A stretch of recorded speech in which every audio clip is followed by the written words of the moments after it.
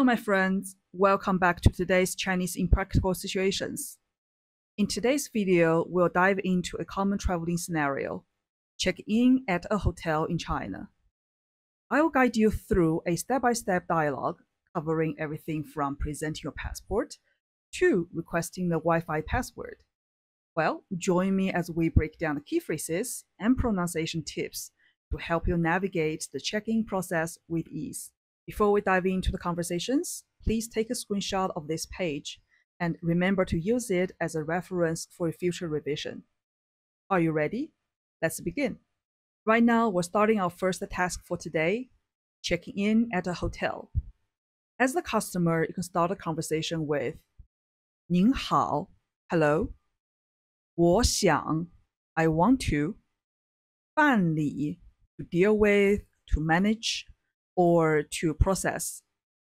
入住 check in. And the hotel would say, 好的, of course, sure. 请 please. 出示 to show or to display. 一下 a bit. 您的 your 护照 passport.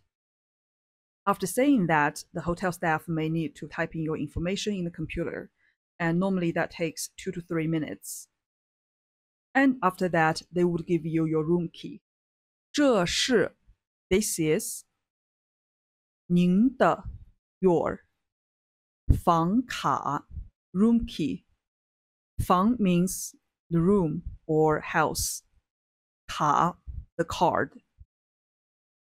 请 please 拿好 hold on to it 拿 means to hold something or grab something 好 means good or well 您的 your 房间 room 是 is 幺六零九 one six zero nine 号 number Hotels in China would normally post their Wi Fi password on the wall in the lobby, but occasionally you just don't see them.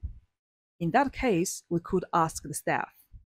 And the conversation goes 请问 Excuse me, I would like to ask 你们 your 这里 here the of Wi-Fi well obviously we took that from English 密码 password 是 is 多少 how much right here we have a chunk that is very useful when you want to ask a question about numbers in Chinese, for example, phone number, or like here, we're, we're asking about the uh, Wi Fi password number, then we can say, so and so number 是多少? And normally, there will be a really big chance that the Wi Fi password number is already on the room key. In that case, the staff may say, 密码 the password 已经 already 在 at 您的 your 房卡上了房卡 the room key 上 on le is the past particle means it's already there 是 is 六个 six or six pieces of 八 eight so that means the password is 888888. By the way, in Chinese culture, number 6 and number 8 are lucky numbers. Right now, it's time for us to work on the pronunciation. I'm going to read the dialogues in slow speed, then regular speed. Remember, you can always pause the video and read after me. Slow speed. 您好。我想办理入住。好的，请出示一下 您的护照。这是您的房卡，请拿好。您的房间是幺六零九号。Regular speed。您好，我想办理入住。好的，请出示一下您的护照。